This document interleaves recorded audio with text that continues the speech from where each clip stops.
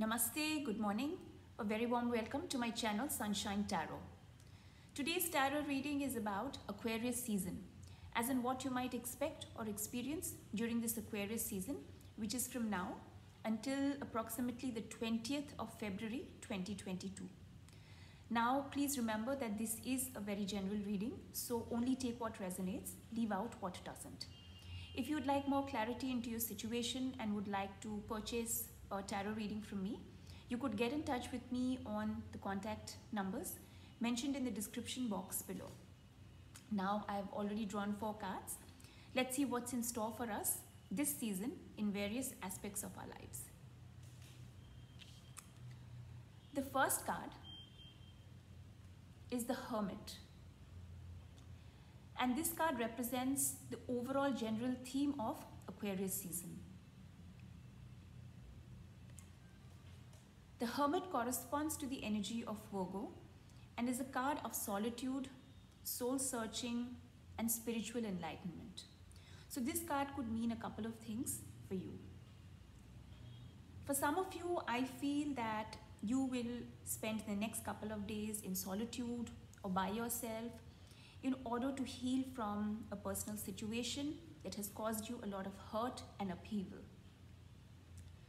For some others, I feel that you know you will spend the next couple of days trying to figure out life in terms of you know what is your soul purpose or what is the purpose of your existence um, you know what you need to do next how you can make your life more mean, meaningful and such things.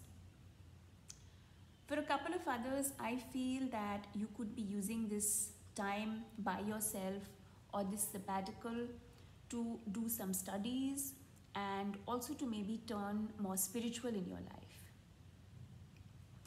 the lantern here represents knowledge or enlightenment.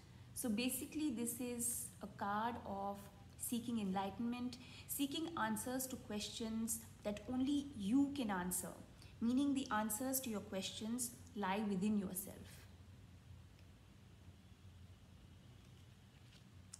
The next card the Six of Wands. And this card represents your work, career, and finances uh, for this Aquarius season.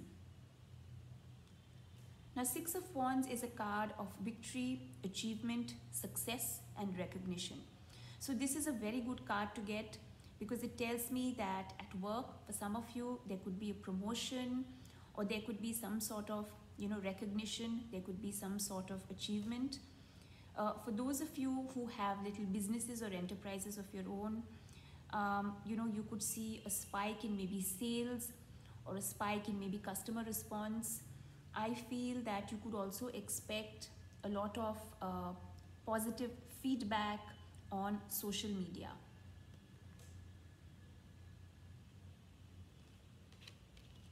The next card is the Nine of Wands.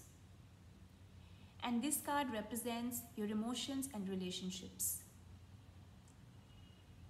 The Nine of Wands is typically referred to as the wounded warrior.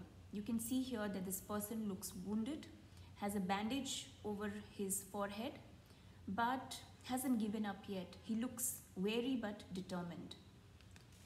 Um, there could be a bit of struggle in the area of your relationships, um, you know, this month.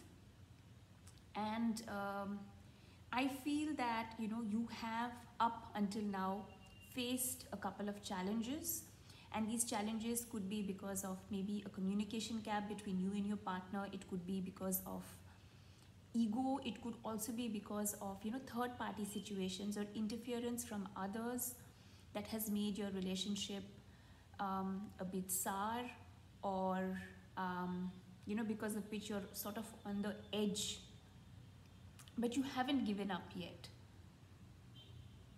so basically this is going to be um, slightly stressful as far as your relationships and emotions are concerned.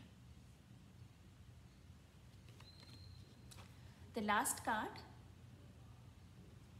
is the Seven of Swords and this card represents your health and well-being.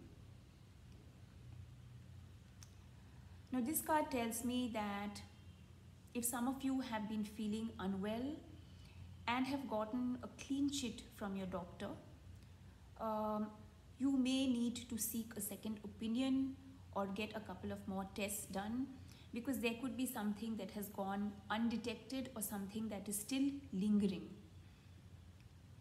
So this is specifically for those people who have been feeling unwell or under the weather. Well, that's all I have for today. I wish you all a great day ahead and I hope this reading helps you. That's all for now. Thank you for watching. Bye-bye.